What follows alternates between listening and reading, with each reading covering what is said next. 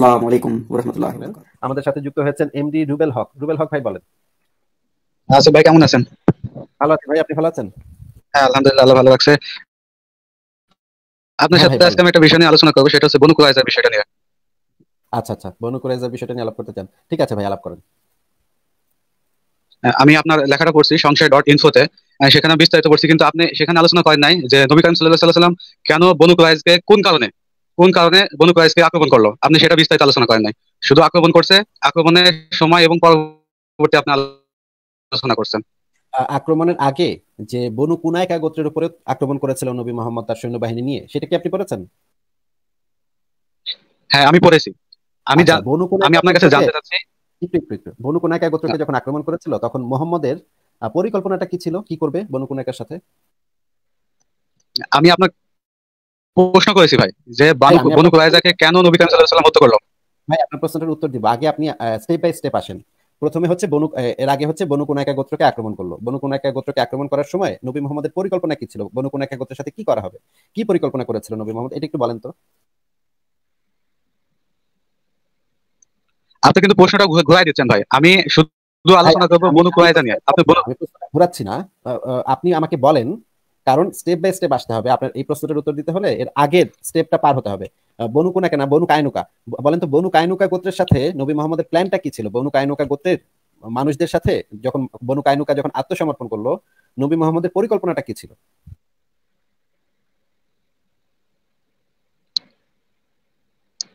আমি আপনার প্রশ্নটা বুঝতে পারলাম না। ক্লিয়ার করে বলুন। আপনি আমার প্রশ্নটা ঘুরাই দিচ্ছেন। হ্যাঁ। ভাই শুনেন আপনার- আমি আসব তো। ভাই একটু শুনে নেন একটু শুনে নেন। আপনার প্রশ্নে আমি আসব। আপনাকে গ্যারান্টি দিচ্ছি আপনার প্রশ্নে আসা হবে ঠিক আছে? কিন্তু তার আগে যেই জিনিসগুলা একটু ক্লিয়ার করে নিতে হবে যে বনু বনু কুরাইজার আগে নবী মোহাম্মদ তার সৈন্যবাহিনী নিয়ে বনু কায়নুকা গোত্রকে আক্রমণ করেছিল।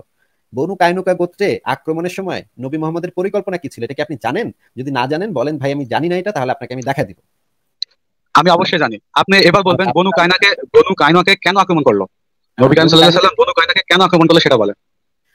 আচ্ছা ঠিক আছে। বনু কায়নুকাকে আক্রমণ করেছিল কারণ বনু কায়নুকা গোত্রের কিছু লোক, একজন মুসলিম মহিলার মুসলিম মহিলা দর্জির দোকানে গিয়েছিল। দর্জির দোকানে সেই কয়েকজন মানে বনু কায়নুকা গোত্রের কয়েকজন ইহুদি যে কাজটা করেছিল, একটা পেরেক ঢুকিয়ে রেখেছিল, যে পেরেকটা ওই মহিলার জামার সাথে লেগে মহিলার জামাটা ছিঁড়ে যায় এবং অনেকখানি শরীরের অনেক অংশ দেখা যায়। এরপরে তখন ওই ইহুদিরা হাসাহাসি করছিল। তখন এইটা দেখে একজন মুসলিম এসে বনু কায়নুকা গোত্রের সাথে মারামারি করে। এইটা নিয়ে ঝামেলা হয়েছিল। তখন বনু কায়নুকা গোত্রের উপরে নবী মোহাম্মদ আক্রমণ করেছিল। সঠিক কিনা বলেন? এটা একটা অংশ। মানে এটা একটা নবী সাল্লাহ এটা আছে বনু? বনু কায়নাকে আক্রমণ করা এটা একটা কারণ। আরও বিভিন্ন কারণ আছে। আপনি শুধু একটা কারণ বললে তো হবে না ভাই। আচ্ছা, আর কি কারণ আছে বলেন তো ভাই?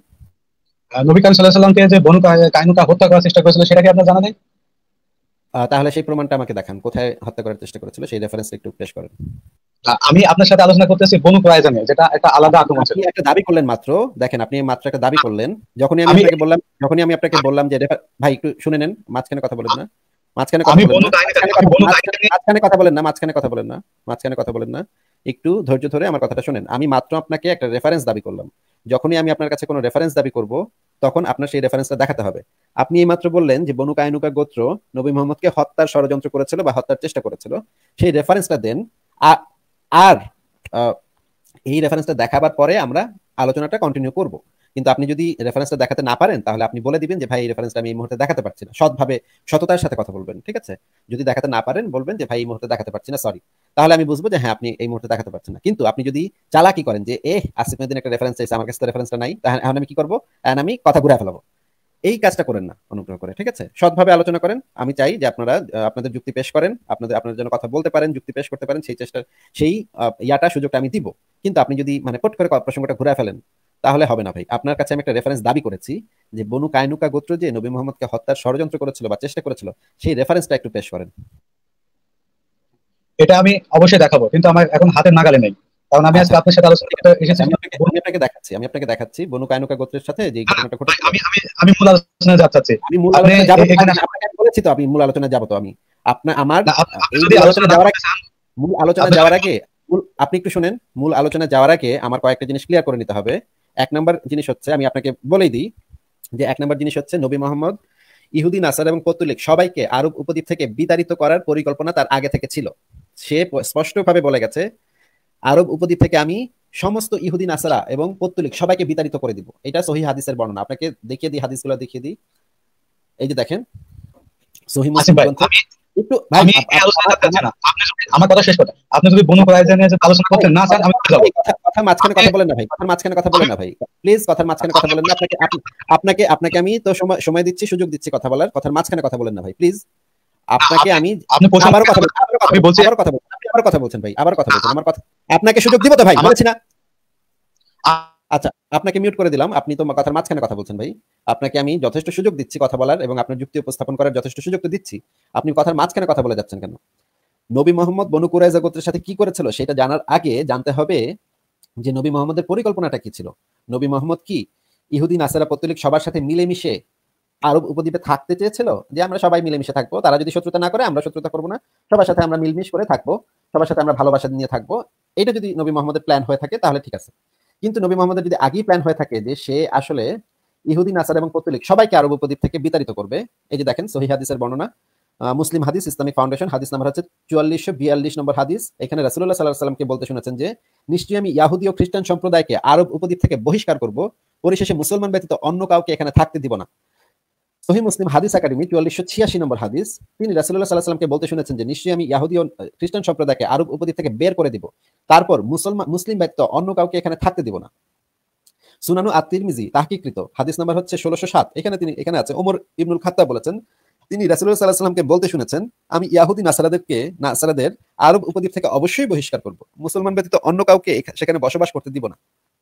তার মানে বোঝা যাচ্ছে নবী মোহাম্মদের সুস্পষ্ট পরিকল্পনা ছিল যে সে ইহুদি নাসারা সবাইকে কোনো না কোনো ভাবে এই অঞ্চল থেকে আসলে বের করে দিবেনি আলটিমেটলি বের করে দেয়ারই তার পরিকল্পনা। এরপরে কি হলো? এরপরে হচ্ছে সে বনু কায়নুকা গোত্রকে আক্রমণ করল। বনু কায়নুকা গোত্রকে আক্রমণ করার পরে যে ঘটনাটা ঘটলো, এই যে কারণটা একটু আগে বললাম, সেই কারণেই আক্রমণটা হয়েছিল এবং তখন যে ঘটনাটা ঘটেছিল যে বনু কায়নুকা গোত্রকে আক্রমণ করার পরে যে ঘটনাটা ঘটেছিল, সেই ঘটনাটা হচ্ছে যে এখানে দেখেন, এই যে সিরাত গ্রন্থ থেকে আমি দেখাচ্ছি, বই থেকে, সরাসরি বই থেকে দেখাচ্ছি। আব্দুল্লাহ ইবনে উবাই, যাকে হচ্ছে কি মুশরিকদের নেতা বলা হতো হজরত মোহাম্মদ যাকে নাম দিয়েছিলেন মুশরিকদের নেতা, সেই আব্দুল্লাহ ইবনে উবাই রাসুল্লাহর কাছে গিয়ে বলল, আমার লোকজনের সাথে ভালো ব্যবহার করবেন, হে মোহাম্মদ। রাসুল তাকে পাত্তা দিলেন না। লোকটা আবার একই অনুরোধ করল, রাসুল মুখ ফিরিয়ে নিলেন। তখন লোকটা রাসুল সাল্লাহ সাল্লামের কর্তা কলার চেপে ধরলেন। রাগে রাসুল সাল্লাহ সাল্লামের চেহারা কালো হয়ে গেল। তিনি বললেন, ছাড়ো বলছি, ছেড়ে দাও আমাকে। তখন আব্দুল্লাহ ইবনে উবাই বলল, না, আল্লাহর কসম যেতে দিব না। আগে বলুন তাদের সাথে ভালো আচরণ করবেন। চারশো লোকের বর্ম নেই, তিনজন বর্মধারী আমাকে আমার আমার সব দুশ্মনের হাত থেকে রক্ষা করেছে। এক সকালে সবাইকে কেটে ফেলবেন আপনি।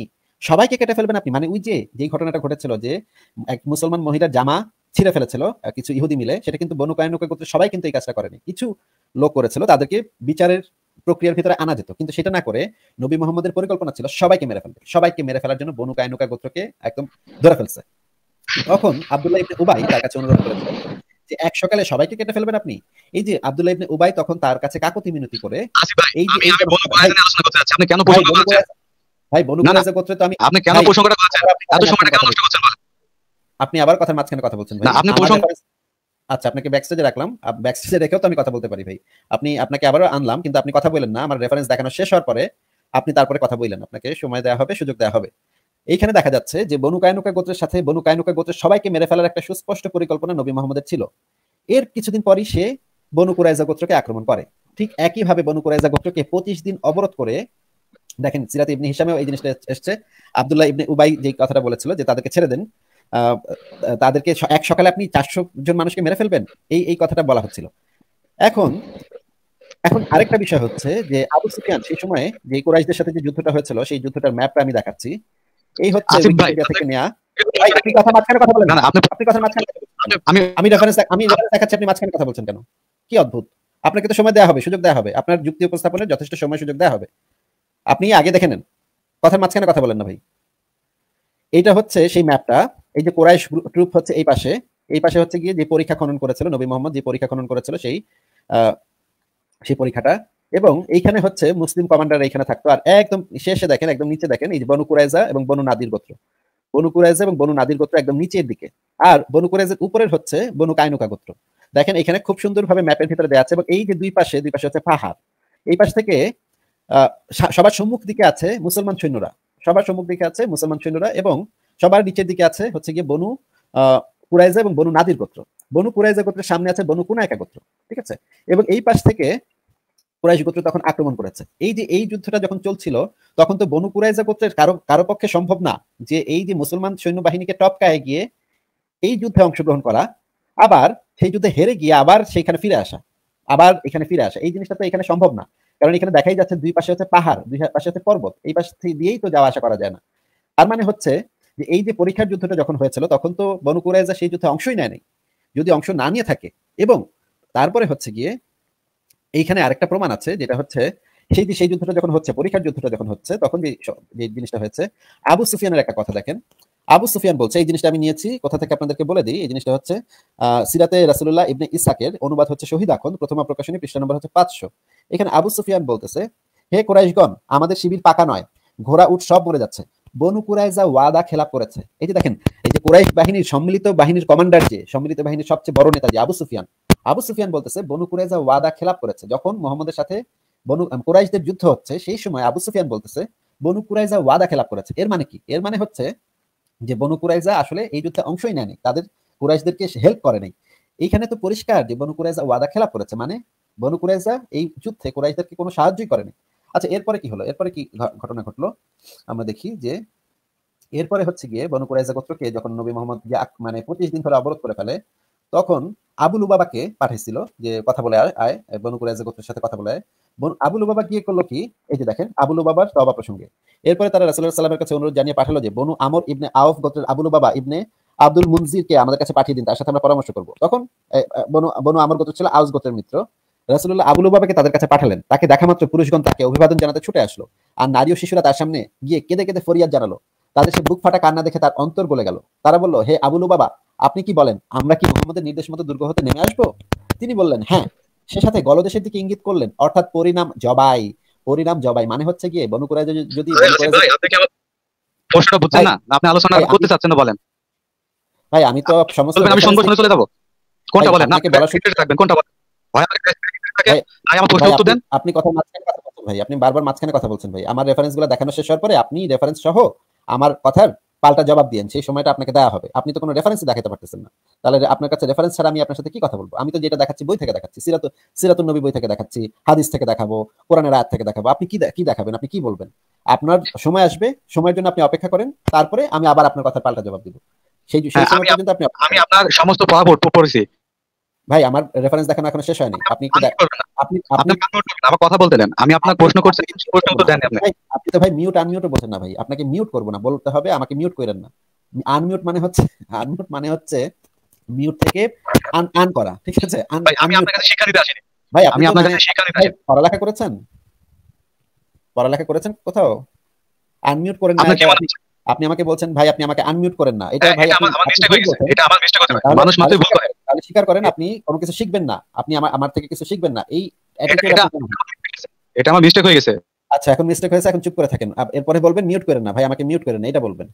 তারপরে আমার রেফারেন্স দেখানো শেষ হওয়ার পরে আপনাকে আমি সময় দিব আপনার যুক্তি উপস্থাপনের জন্য এবং প্রমাণ উপস্থাপনের জন্য। তারপর আপনি আপনার প্রমাণ এবং যুক্তি উপস্থাপন করেন।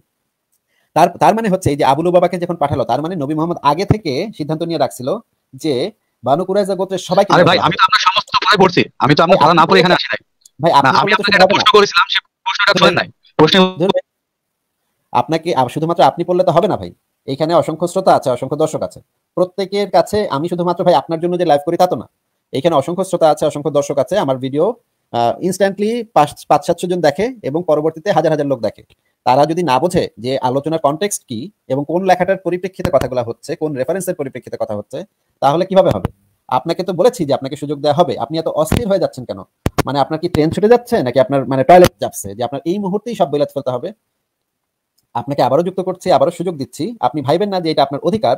আপনাকে একটা প্রিভিলেজ দেওয়া হচ্ছে। আপনাকে একটা সুবিধা দেওয়া হচ্ছে যে আপনি এখানে কথা বলতে পারছেন। সুতরাং এটাকে সঠিকভাবে ব্যবহার করেন। আমার রেফারেন্স দেখানো শেষ হলে তখন আপনি আপনার রেফারেন্স সহ আমার আমার দাঁত ভাঙা জবাব দিয়েন। আপনাকে বারবার বলছি আপনাকে সুযোগ দেওয়া হবে। কিন্তু আপনি এই আচরণ করে আপনার সুযোগটা নষ্ট করছেন। ঠিক আছে? আপনি একটু কথা যেভাবে আপনি কথা বলেন না। আমি আপনাকে যে প্রশ্নটা করছি প্রশ্ন ভাই, মাঝখানে কথা বলেন না। আপনি প্রশ্ন করারও সুযোগ পাবেন তো। আমার রেফারেন্সগুলো দেখানো শেষ হলে আপনি প্রশ্ন করারও সুযোগ পাবেন তো। সেটা তো বলেছি। সেটা কি আমি না করেছি যে আপনি প্রশ্ন করার সুযোগ পাবেন না?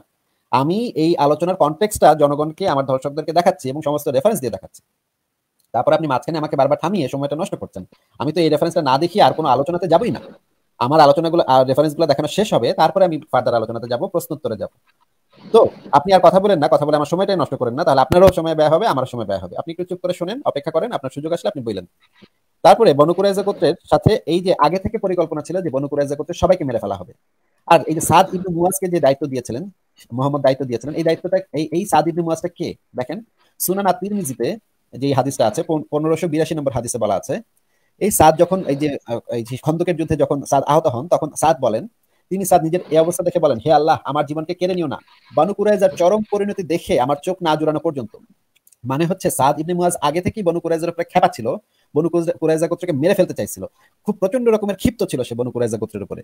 আরও একটা হাদিস আছে যে, এই যে, এই এই আল্লুলু ওয়াল মারজান, এটা হচ্ছে বুখারি এবং মুসলিমের মানে সম্মিলিত। যে যেই হাদিসগুলো বুখারি এবং মুসলিমের দুইটাতেই আছে সেটা এই গ্রন্থে সন্নিবেশিত করা হয়েছে। এইটার এগারোশো ছাপ্পান্ন নম্বর হাদিসে যেটা বলা আছে যে নবী মোহাম্মদ এই ফয়সালাটা সাদ ইবনে মুয়াজের উপরে ব্যস্ত করেন। নবী মোহাম্মদ তো জানতেই পারছেন যে সাদ ইবনে মুয়াজ ইসেদের উপরে অত্যন্ত বিরক্ত, অত্যন্ত ক্ষুব্ধ বনকুরাইজা গোত্রের উপর। এই কারণেই তিনি মানে নবী মোহাম্মদ সাদ ইবনে মুয়াজের উপরে এই বিচারের ফয়সালাটা ন্যস্ত করেন, নবী মোহাম্মদ করেন।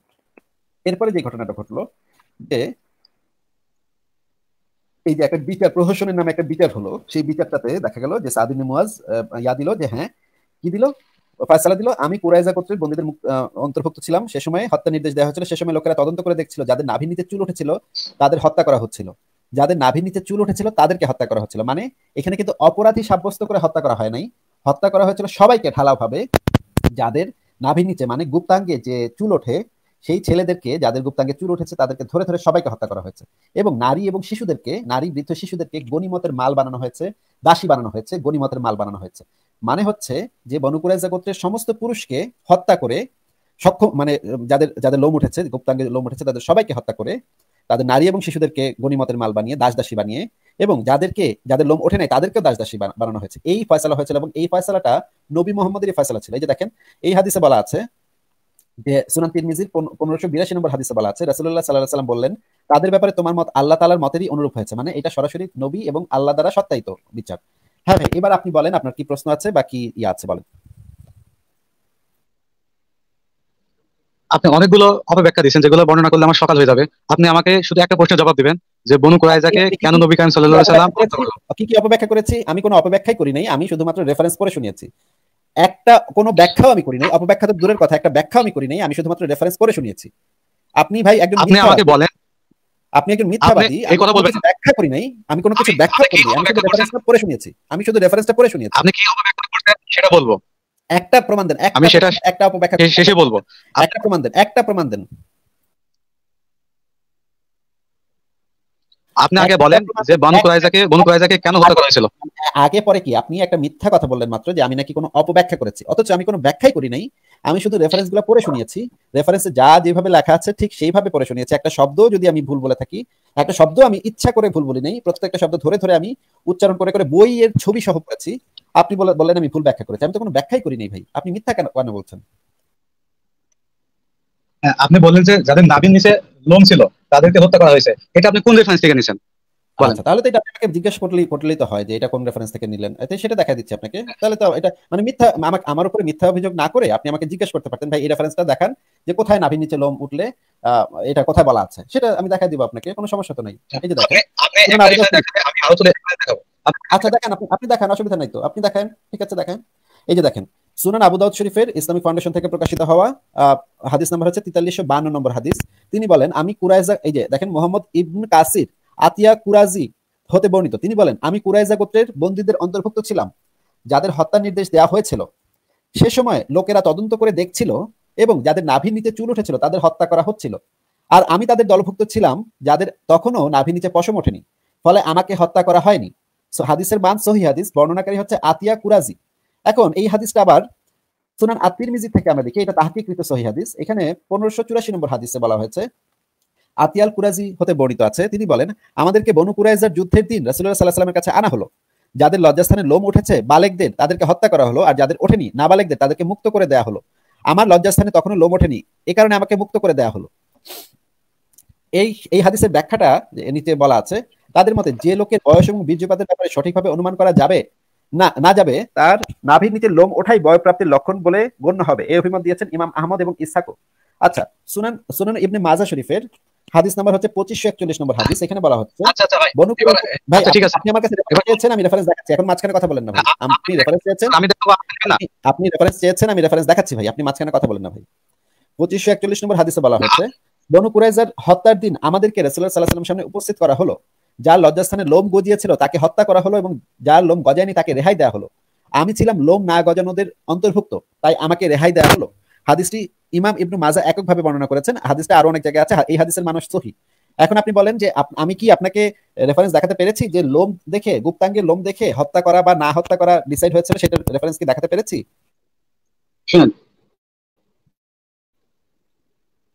হাদিস গ্রন্থের মধ্যে সবচেয়ে সহি হাদিস হচ্ছে বোখারি শরীফ। সেখানে বোখারি শরীফের তিন হাজার আটশো একুশ নম্বর এবং তিন হাজার আটশো বাইশ নম্বর হাদিসে বলা হচ্ছে যে মোকাতিল। এখানে বলা হচ্ছে যে বনু কুরাইদের সকল যোদ্ধাকে হত্যা করা হয়েছিল, সকল পুরুষদের না। কারণ আরবি শব্দ রাজুল শব্দ অর্থ হচ্ছে পুরুষ। কিন্তু এখানে বোখারি রাজুল ব্যবহার করে না। এখানে ব্যবহার করা হয়েছে মুকাতিল। এই হাদিস নম্বর হচ্ছে তিন হাজার আটশো একুশ এবং তিন হাজার আটশো বাইশ নম্বর। এছাড়া মুসলিম আচ্ছা, শরীফের হাদিস চার হাজার চারশো ছিয়াশি নম্বর। হাদিসটা দেখান। আপনি হাদিসটা স্ক্রিনে দেখান আমাদের। আমি তো মোবাইল নিয়ে আছি। আপনি আমার মোবাইল থেকে স্ক্রিনশট হবে আপনি আপনার কাছে বোকারি শরীফ আছে আপনি হাদিসটা বের করেন। আপনি আরবি আপনি একটু শুনে নেন ভাই আপনি একটু শুনে নেন ভাই। এই যে যে হাদিসগুলো আমি দেখিয়েছি প্রত্যেকটা সহি হাদিস। এখন এই হাদিসগুলো আপনি মানেন না এটা আপনি বলতে চাচ্ছেন। এই হাদিসগুলো আপনি আমি মানি না মানি। মানে আপনি কি বলতে চাচ্ছেন আপনি শুধু বুখারি শরীফ মানেন আর কোনো হাদিস গ্রন্থ মানেন না? সিয়াসিতার ভিতরে শুধুমাত্র বুখারি শরীফ মানেন আর কিছু মানেন না আপনি। এটা বলতে চাচ্ছেন? আমি আমি কি কথা বলেছি?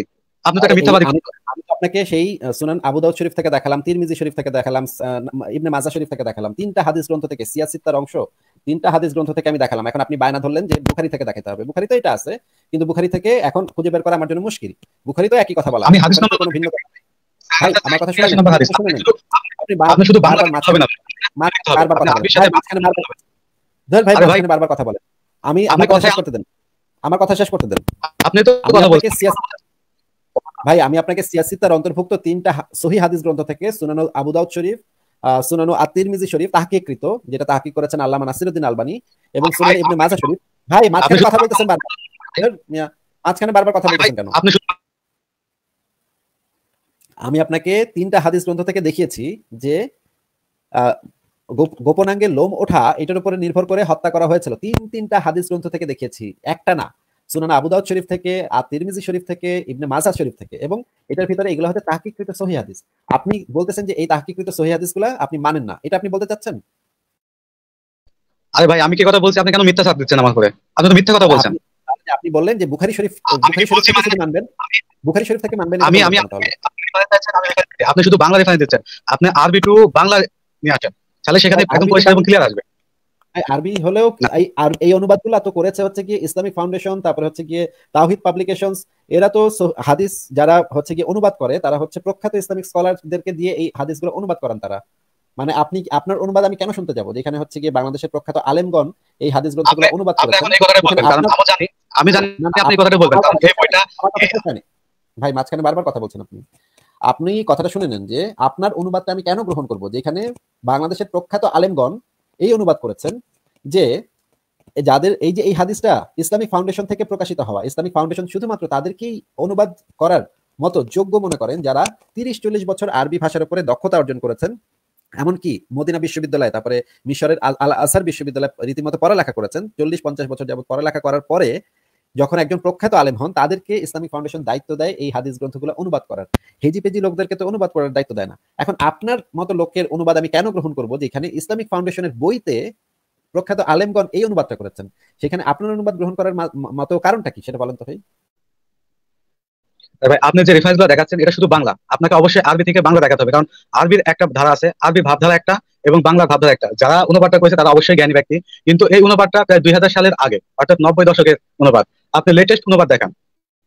লেটেস্ট আরবি থেকে বাংলা যে অনুবাদ এবং আপনি শেষ করতে দেন যারা আরবি বিশেষজ্ঞ যারা আরবি নিয়ে গবেষণা করে লেখাপড়া করে তাদেরকে জিজ্ঞাসা করবেন যে আরবি থেকে বাংলা অনুবাদ করতে গেলে একশো থেকে অর্থাৎ হান্ড্রেডে হান্ড্রেড অনুবাদ করা সম্ভব না।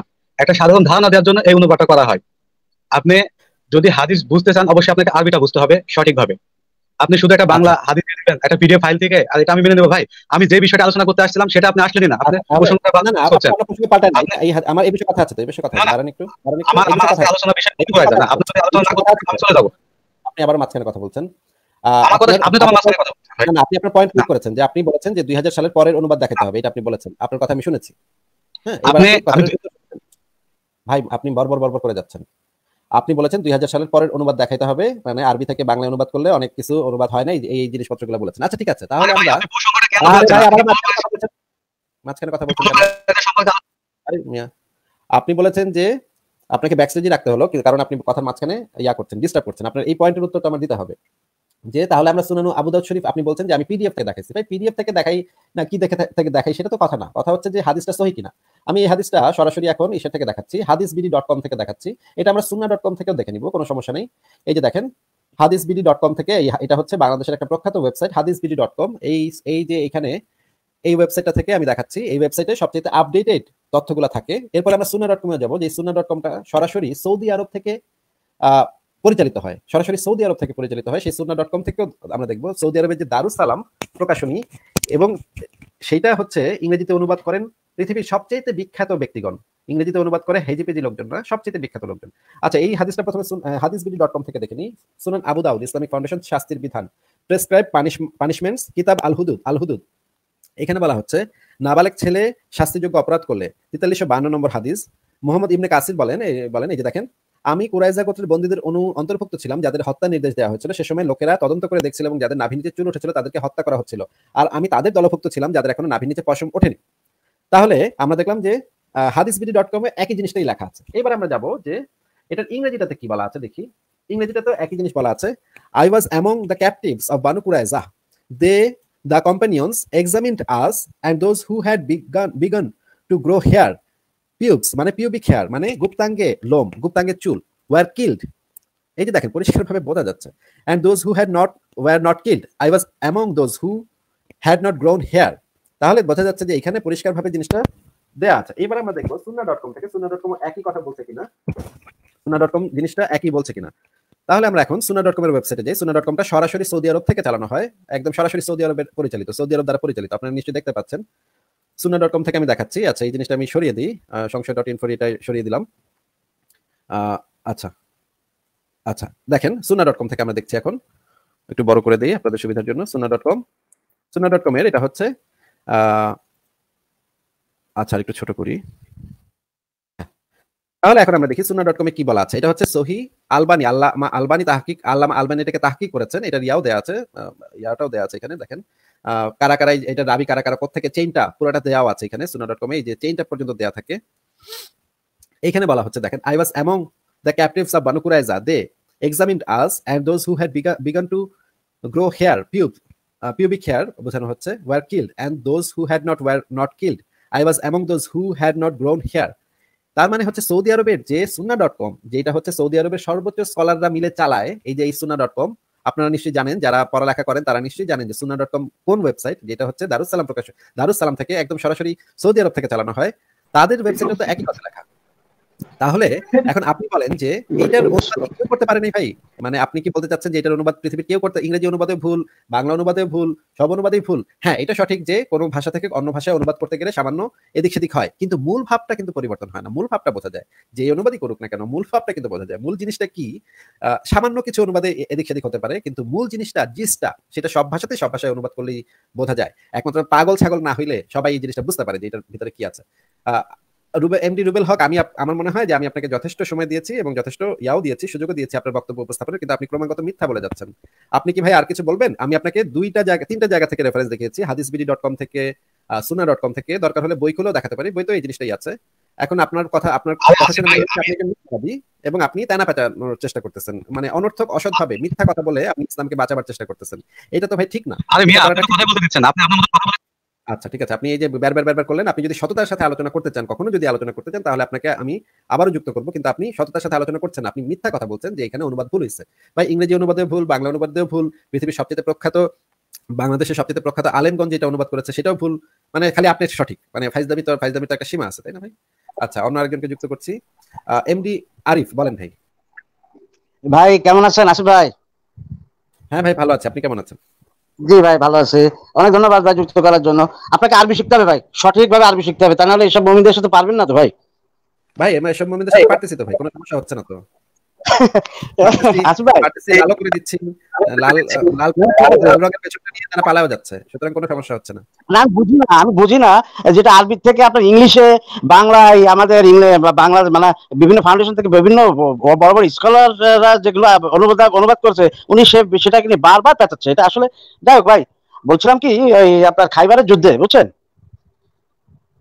হ্যাঁ ভাই বলেন বলেন। খাইবারের যুদ্ধে সাপিয়াকে যখন মোহাম্মদ নিয়ে যায় আর কি তখন আমি উই- উইকিপিডিয়াতে উইকিপিডিয়াতে শুনলাম যে এই আপনারা যে কথাগুলো বলছেন এগুলো তো আমার অবশ্যই বিশ্বাস হয় কিন্তু উইকিপিডিয়াতে তার সম্পূর্ণ মোহাম্মদের পক্ষে বলে এরা উইকিপিডিয়া বুঝছেন? এরা বলে যে সাপিয়া নাকি রাজি ছিল বুঝছেন? তা ভাই অথচ তাদের উইকিপিডিয়া যে কেউ- ভাই। উইকিপিডিয়া যে কেউ এডিট করতে পারে উইকিপিডিয়া কোনো রিল সোর্স না এই সমস্ত বিষয়ের জন্য। শুধুমাত্র ইসলামের যে রেফারেন্সগুলো আছে জি। সোর্স সাফিয়া রাজি ছিল?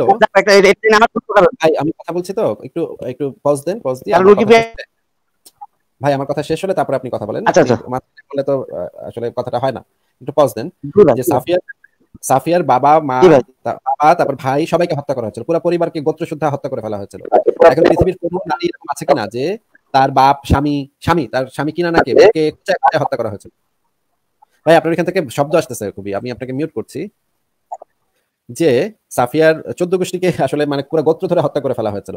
এখন পৃথিবীর কোনো নারী আছে এরকম যে যে নারীর বাবা, স্বামী, ভাই সবাইকে হত্যা করা হবে, তারপর সেই নারীটা যিনি হত্যা করেছেন তাকেই বিয়ে করতে যাবেন, তাকে বিয়ে করবেন। এটা কি ভাই মানে পসিবল এটা কি সম্ভব? যে এটা তাহলে বুঝতে হবে যে সেই নারীটা অত্যন্ত খারাপ চরিত্রের ছিল। কারণ পিতা, ভাই স্বামী হত্যাকারীকে হত্যাকারীর বিছানায় যে ওঠে, তার গালে যে চুমা খায়, তাকে যে ভালোবাসে, এর মতো খারাপ মহিলা তো আমি আমি, আমার মনে হয় আর কোথাও হইতে পারে না। এমডি আরিফ ভাই বলেন। ভাই আপনি আনমিউট করে বলেন। আপনাকে আমি মিউট করে রেখেছি, আপনি আনমিউট করে বলেন। হ্যাঁ। ভাই, তাহলে কি বলতে পারি যে সাপিয়াও সেরকম চরিত্রবান কোন নারী ছিল না তখন? হ্যাঁ ইসলামিস্টরা দাবি করে যে সাফিয়া নাকি কিনানার সংসারে থাকার সময় নাকি নবী মোহাম্মদকে স্বপ্ন দেখতেন। তার মানে নবী মোহাম্মদের মানে মুমিনদের একজন মা, যার নাম হচ্ছে সাফিয়া, সে হচ্ছে তার আগের স্বামীর সংসার করার সময় পরপুরুষের স্বপ্ন দেখতেন। পরপুরুষের স্বপ্ন দেখে তিনি মানে ইয়া হয়ে উঠতেন হর্নি হয়ে উঠতেন। তার, সেই পরপুরুষকে কামনা করতেন, পরপুরুষের সাথে সেক্স করার কথা ভাবতেন। তার মানে তো এই সেই সাফিয়া তো একটা মানে চরম মানে মুমিন ভাইদের কথা যদি সঠিক হয়, তাহলে তো সেই সাফিয়া একদম চরম লম্পট টাইপের মহিলা। যাক খাইবারের যুদ্ধটা আসলে আমার ওই যে বিবি হাওয়া, আপা, তারপরে আপনাদের মাতবার ভাই আপনিও ছিলেন বোধহয় ওই আলাপ আলোচনাটায় ওটা শুনে আসলে আমি ওদিন আমার চোখ দিয়ে পানি ঝরে গেছিল, বুঝছেন ভাই? ইসলামের মূল ইতিহাস সম্পর্কে আপনাদের কাছ থেকে আমি জানতেছি। আসলে খুবই জানা হচ্ছে এবং আমার ইসলাম সম্পর্কে অভিজ্ঞতাটা হচ্ছে, আমি আস্তে আস্তে আমার আশপাশের আপন জনদের বোঝাচ্ছি। দেখো this is Islam this is Islam বুঝছেন ভাই? হ্যাঁ ভাই, অনেক ধন্যবাদ আপ- আপনাকে এমডি আরিফ ভাই। আপনাকে তাহলে বিদায় জানাই, কোনো মুমিন ভাইকে যুক্ত করি। জি ভাই জি ভাই জি ভাই থ্যাংক ইউ থ্যাংক ইউ আচ্ছা ভাই। আচ্ছা আমাদের সাথে আছেন ইবনে মিজান, বলেন ভাই। ইবনে মিজান, আপনি আনমিউট করে কথা বলেন, আপনার কথা শোনা যাচ্ছে না, আপনি আনমিউট করে কথা বলতে হবে। ইবনে মিজান, আপনার কথা শোনা যাচ্ছে না, আপনার আনমিউট করে তারপরে কথা বলতে হবে। ইবনে মিজান, আপনাকে আপনি নিজেকে মিউট করে রেখেছেন। আচ্ছা উনি তো চলে গেলেন। ইবনে মিজান চলে গেলেন। আচ্ছা আরেকজনকে যুক্ত করছি। হক পাগলা। হক পাগলা বলেন ভাই। হক পাগলা, আপনি নিজেকে আনমিউট করে তারপর কথা বলেন। আপনার মানে আপনার স্ক্রিনে দেখবেন একটা মিউট বাটন আছে, সেটাকে আনমিউট করবেন, তারপর কথা বলবেন। হক পাগলা ভাই, না, আপনাকে, আপনি কথা বলছেন না, তাহলে আপনাকে বিদায় জানাচ্ছি। আমাদের সাথে আছে মোহাম্মদ ছিল নিষ্পাপ। বলেন ভাই, মোহাম্মদ ছিল নিষ্পাপ, আপনি বলেন ভাই। মোহাম্মদ যে নিষ্পাপ ছিল, এটা আপনি স্বীকার করেন? এটা কেমন কথা ভাই? এটা কীভাবে স্বীকার করব? হিটলার যে নিষ্পাপ ছিল সেটা আপনি স্বীকার করেন? হ্যাঁ করি। অর্থাৎ করেন গিয়ে তাতে আমার কি? মোহাম্মদকে যদি আপনি অনৈতিক বলেন সে একটি কিসের ভিত্তিতে বলেন? ভাই কি মানুষ মানুষ মানুষকে অনৈতিক বা মানে খারাপ কিসের ভিত্তিতে বলে? আমি তো কোনো ভিত্তি দেখি না। ভিত্তি না দেখলে আপনি সেটা নিয়ে বসে থাকেন। আপনি কিসের ভিত্তিতে বলেন? সেটা একটি প্রশ্ন। প্রশ্নের বিপরীতের প্রশ্ন করতেই পারেন কিন্তু সেটি উত্তর হয় না। ভাই আপনাকে যে আমি উত্তর দিতে বাধ্য সেটাকে আমি কথা লিখিত দিয়েছি? না অবশ্যই আপনি উত্তর না দিতেই পারেন উত্তর না দিতে পারলে দিবেন না। আপনি তো খ্রিস্টান ভেড়া তাই না? আপনি একটা খ্রিস্টান ভেড়া না যে যে হচ্ছে গিয়ে খ্রিস্টান ধর্মের আপনি আমার দাবি আমার দাবি মোহাম্মদ নিষ্পাপ সেই বিষয়ে খ্রিস্টান ধর্মের ডুঙ্গি একদিন খুলে দিয়েছিলাম আমরা। আপনার আমি খ্রিস্টান ধর্মের ডুঙ্গি দাবি করছি মোহাম্মদ ছিল আমরা সবাই মিলে তখন নিজের আমি দাবি করছি মোহাম্মদ ছিল পেছনটা বাজাতে কথা বলতে ভয় হচ্ছে। কুই করে কুই কুই করে কুই মোহাম্মদ নিষ্পাপ সেই কথা বলতে আপনার ভয় হচ্ছে? একটি আচ্ছা কুই কুই কুই কুই করে কান্না করছিলেন এই কয়েক কিছুদিন আগে তো। আপনার যে খ্রিস্টান ধর্ম এবং যিশু এদেরকে যেইভাবে আমরা বাস ডলার দিলাম, সেদিন তো আপনাকে কানে ধরে আপনাকে বলিয়ে দিয়েছিলাম যে কখনো আর আমাদের লাইভে আপনি যুক্ত হবেন না। একটা খ্রিস্টান ভেড়া, ছাগল কথাকার। আপনি হচ্ছেন একটা মানে নিম্নমানের ছাগল। মুমিনদেরও তো একটা মিনিমাম লেভেল আছে। আপনার তো কোনো লেভেলও নাই। আপনি তো একটা খ্রিস্টান ধর্ম প্রচারক। আপনি জায়গায় জায়গায় খ্রিস্টান ধর্ম প্রচার করতে আসছেন, আসেন। খ্রিস্টান ধর্মের মতো মানে ফালতু ধর্ম আর পৃথিবীতে আর কয়টা আছে? আপনারা মানে খ্রিস্টান ধর্ম প্রচার করতে আসেন আপনার নাম হচ্ছে মাইকেল অপু মন্ডল আপনি বিভিন্ন জায়গায় গিয়ে খ্রিস্টান ধর্ম প্রচার করেন এবং আপনি খ্রিস্টান হয়েছেন আমেরিকা যাওয়ার উদ্দেশ্যে। আমেরিকার একজন সাদা চামড়ার মেয়ের সাথে আপনার বিয়ে হয়েছে এবং আপনি খ্রিস্টান হয়েছেন আমেরিকা যাওয়ার উদ্দেশ্যে। মানে ব্যাপারটা খুবই ডিসগাস্টিং একটা ব্যাপার যে মানে মানুষ ধর্ম মানে ধর্ম পরিবর্তন করে মানে আমেরিকা যাওয়ার লোভে ধর্ম পরিবর্তন করে, বিষয়টা খুবই ডিসগাস্টিং তার, ঠিক আছে, আপনার অধিকার, আপনি ধর্ম পরিবর্তন করতেই পারেন, কিন্তু পুরো বিষয়টা একটা ডিসগাস্টিং ব্যাপার। কিন্তু সবচেয়ে দুঃখজনক ব্যাপার হচ্ছে, আপনি আপনি যেটা করেন, সেটা হচ্ছে ইসলাম ধর্মের অনেক, আপনার ইউটিউব চ্যানেলে আপনি ইসলাম ধর্মকে অনেক গালিগালাজ করেন, কিন্তু খ্রিস্টান ধর্মকে নিয়ে কিচ্ছু বলেন না। এই হচ্ছে মানে আপনাদের হিপোক্রেসি আপনারা হচ্ছেন, আপনাদের ডবল স্ট্যান্ডার্ড আপনারা হচ্ছেন খ্রিস্টান মুমিন, আপনারা খ্রিস্টান ধর্ম প্রচার করেন, আপনাদের খ্রিস্টান ধর্ম একটা ফালতু ধর্ম, আপনাদের যীশু খ্রিস্ট তো একটা মানে থার্ড ক্লাস লোক। মানে আপনাদেরকে মানে সুযোগ দেওয়ারই তো কোনো অর্থ নেই। এবং আপনাকে গত ইসে বলেও দিয়েছিলাম যে আপনি আর কখনো আমাদের লাইভে যুক্ত হবেন না, কারণ আপনি সেদিন চরম ভাবে ধরা খেয়েছিলেন এবং আপনি কোনো প্রশ্নের উত্তর দিতে পারেননি। বাইবেল থেকে ধরে ধরে ধরে ধরে আপনাকে বাস মারা হয়েছিল, আপনাকে এবং আপনার ওয়াইফকে দুজনকেই দেওয়া হয়েছিল ওই দিন। ভাই, আপনার ভাই লজ্জা শরম বলতে কিছু নাই।